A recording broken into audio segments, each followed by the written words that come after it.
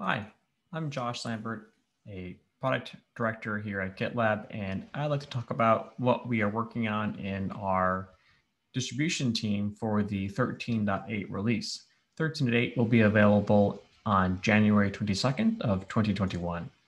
This is our scheduling issue where we collaborate amongst the team on what we're trying to achieve. And I'd like to go through the big items that we're working on here for our product priorities. Um, we are working, of course, also a few things around bugs and a couple other minor fixes, but these are the big ones that we'd like to highlight here for this release. Um, the first one, of course, is that we'll address anything that does happen to carry over, and we'll talk about a bit about that in particular on OpenShift here. Um, but we're also working on some features that our production team, the team who runs GitLab.com, have requested. Uh, GitLab.com is running more and more based on the GitLab Helm chart, which uh, a number of our customers also utilize. And so they are finding improvements and other uh, enhancements that they're looking for. Uh, in particular, in this one, uh, they would like to be able to further label all parts of the Kubernetes objects that the Helm chart creates. And so you can see here, we're actually looking for a common set of labels that we can use to further identify uh, the GitLab server compared to all the rest of the uh, objects within the Kubernetes cluster. Um, so we are working on making that easier. We will still maintain support for the specific labels on particular deployments for things like Sidekiq, the web service, and things like that. But we'll make it easier to go ahead and add these labels. And this will also make things easier for um, metric collection and log differentiation and other types of filtering that you're looking for based on labels. Um, from there, we're also continuing our work on OpenShift. We have made good progress in the 13.7 milestone for OpenShift. Uh, we have actually gone through and made progress on the image submission. Uh, so we built a CI pipeline that can go ahead and do that. And we have one image all the way through the pipeline with minimal changes required.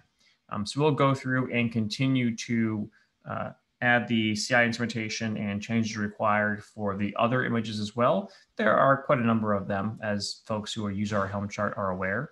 And so we'll work, be working through that in 13.8 and we'll also be working through finishing up utilizing GitLab shell as the basis for our Helm chart based operator. Um, so if you uh, look, listen to our 13.7 kickoff video, uh, you saw that we were focused on this particular issue. This is largely complete here.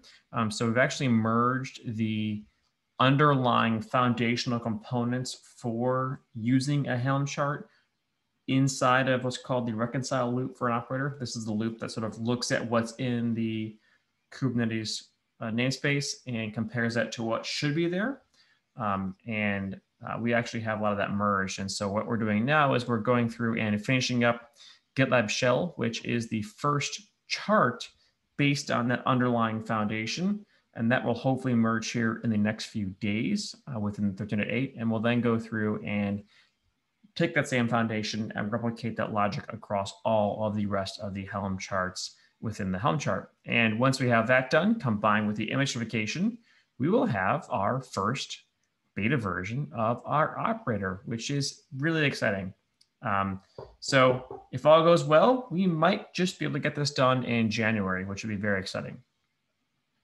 From there, we're also working to finish up the work required to support GitLab pages on our Helm chart. This is one of the last remaining feature gaps between Omnibus and the true cloud native installation of GitLab. And we are very, very close to addressing it, which is very exciting. This is a popular feature for a lot of our customers.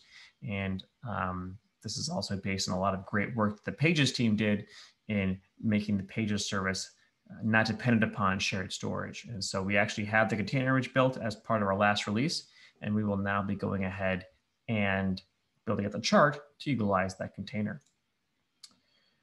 Uh, we're also working to roll out structured logging across all of our components. Um, right now, uh, they essentially uh, have uh, like a tail type system where we're looking across multiple uh, logging files. And so you kind of get these breaks in between the common logging system with based on what uh, log files have been written to at a given time.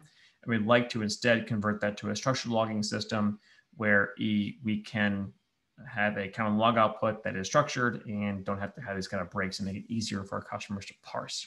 Um, this is also a production request as well, um, but also help, of course, also with our larger deployments of customers out there with the GitLab Helm chart. Finally, we're also working on uh, adding a survey link to the package upgrade output.